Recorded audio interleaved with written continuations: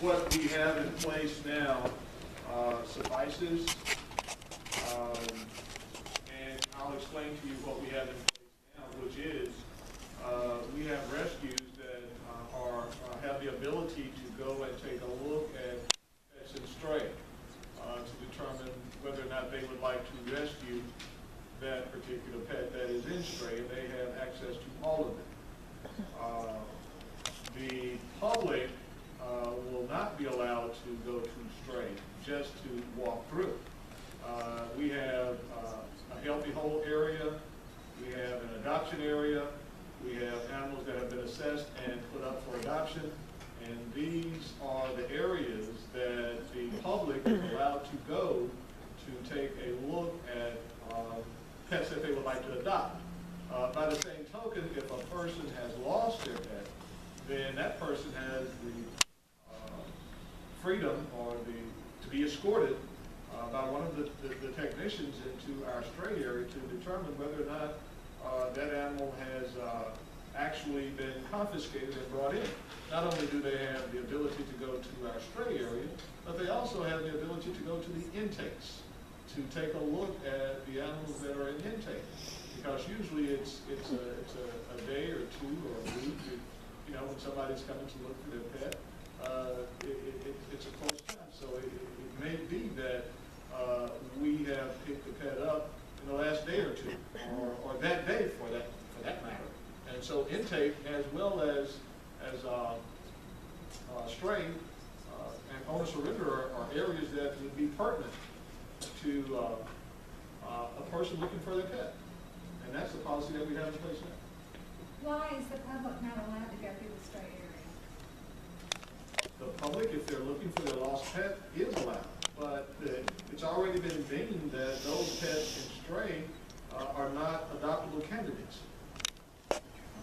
Well, they all have assessed. I've adopted some that are wonderful, that y'all Sounds don't great. want to adopt, that are perfect. Are you, you, and you're a rescue, and you're Yeah, allowed I'm to saying, if go I was an individual, there's several dogs that I have rescued from there that would have made wonderful family pets without even having to go into rescue. That's what I don't understand. I mean, what makes some go into stray versus healthy hold? I mean, who's making that decision? I understand the sick ones are injured, I understand that, but some of these dogs, no behavior issues, nothing, and they're put in stray. And they're, and I- and I'm not kidding, I probably have had five just in the last month, that, I mean, they're wonderful. and, and you are a rescue, but. I'm saying if I But, wasn't a but you, rescue. but you are a rescue, if, if, if you were, uh, just a regular citizen coming in to look for a pet. Right, you would not let me go into We would, adopt we that. would, we would let you know our, our dogs that are healthy, that have been vetted, uh, that are ready to be adopted, that we have assessed and said that they are ready to be adopted. I know, but what I'm saying is I have actually rescued some that should have been placed in adoptable area. They are wonderful dogs, and I don't know who's making that decision to say these. Or the pets are not. criteria.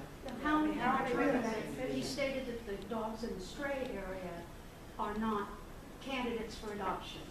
How have you made that determination? That's what I don't understand. That determination is made through the veterinary staff, the the management staff, everybody is taking a look at the pets, the, the officers that are bringing the pets in. Uh, We're, we're, we're gleaning information from all of the employees on their interaction with these pets. So Now, when you now, bring in now, now, an true, true enough, I'm not sure, when you bring in a stray, does it go, does an animal that is deemed a good candidate for adoption go immediately to the stray area? What you're saying doesn't make sense. what I'm saying, what- what I'm saying is we get a lot of pets in. That's what I'm saying. And we make a decision on the pets that we get. Now, true enough, all the pets that we get in don't get to healthy Home or to adoption. That's true. So, But they're what- not seen either, no, they aren't. and they haven't been assessed, have they? They are seen by the rescues if they, they like to rescue Not as pets. often as we would like to be able to. I, I. Yes, got it yes, there. yes. I'm sorry, I'm gonna take you back to your statement that all of the animals in the stray area have been determined to not be candidates for adoption. For some- That is what you For, said, for some reason or other. and I wanna know how that determination is made. If I can, if you could answer that, then we can start moving on with that. I mean, I think that's an important question. Right, I know, and I agree, and that's what I'm saying, you know, But Again, the assessment for the animals at Memphis Animal Services is made from the time that the officer brings it in, he assesses the animal as to its temperament, uh, as to its behavior, uh, with their knowledge, and then it's looked at intake, Uh, when they get ready to vaccinate, it's looked at again through the veterinarians, they look at every animal that's under our roof. And the best candidates, the best candidates are put in healthy hold and adoption. Okay, I've read the records on your, on your, that your ACOs fill out when they bring the dog in. There are no notes in those records about the animal's behavior. This one, we can move on to the next question. We're gonna have to. Okay, I just just- want, this needs to be revisited. Yeah. We have actually revisited, revisited. Well, it needs to be revisited until it's resolved. That is the decision, the board has made its recommendation. At this point, that's all. Well, then they can only recommend, you know, I mean, it needs to be dealt with, but. Okay, our second question, we, this is gonna be a big one, uh, so we gotta move on here, is from Cindy, uh, Mark Sanders, and it's not a question, state report from flyer article.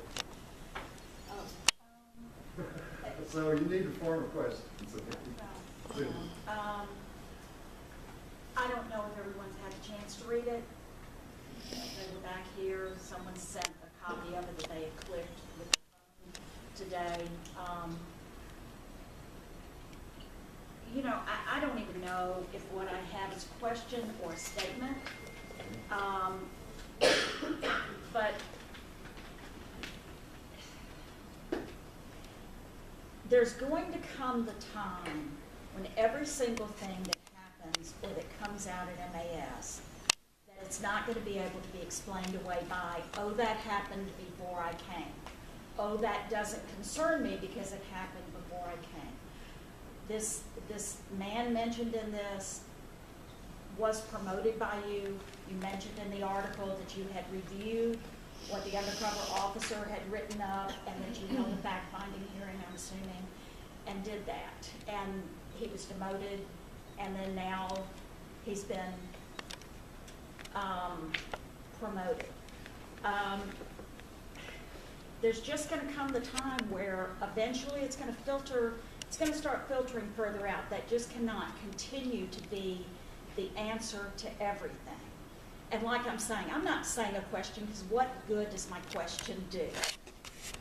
The answer is gonna be the same. It happened before I came, I held a fact finding, he was demoted, and then he was promoted because he's an exemplary employee.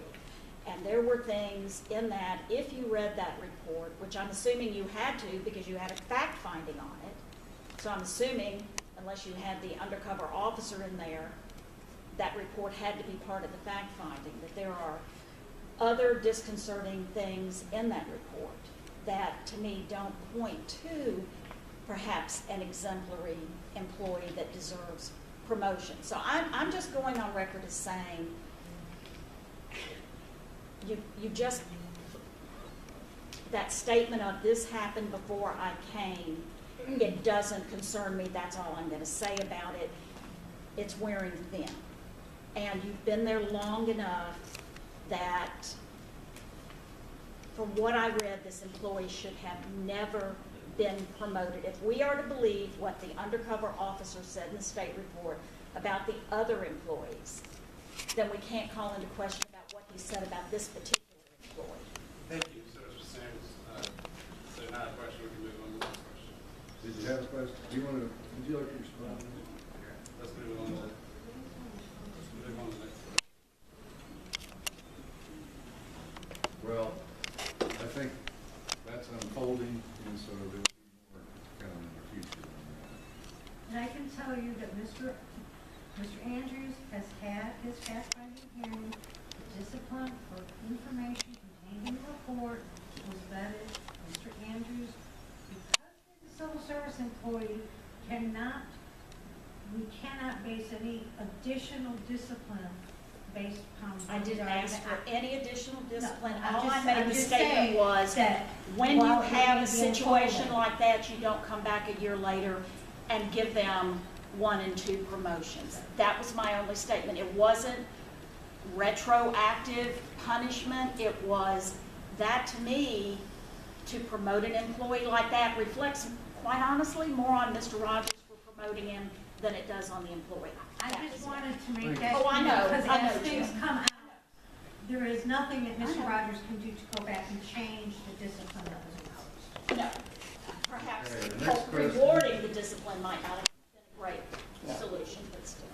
Uh, this question's from Jackie Johns, violation summary for, Um, uh, Yeah, several I- months it's sort of- indicates lower number is paid. yeah, I'll, I'll kind of talk about it. Uh, I had ordered violation summaries from November through February of this year. Right. And of course, there were less, not a lot of officers out in the field writing tickets. Uh, and a lot of them just had a few. But I noticed that there's a lot of tickets being written without spay neuter at all on them. Spay neuter, spay neuter was, you know, just eliminated. There's some where they just write a ticket for running large, nothing else. I just, uh, somebody needs to look at those tickets that they're writing. That's, So they're all going to Division Two also. So it doesn't really, I guess, matter for Division Two, but That sounds like still. a very fair, I mean, I don't know whether, I, I, I'm saying this, I don't know, I haven't done any research, I don't know whether I agree factually with what you're saying.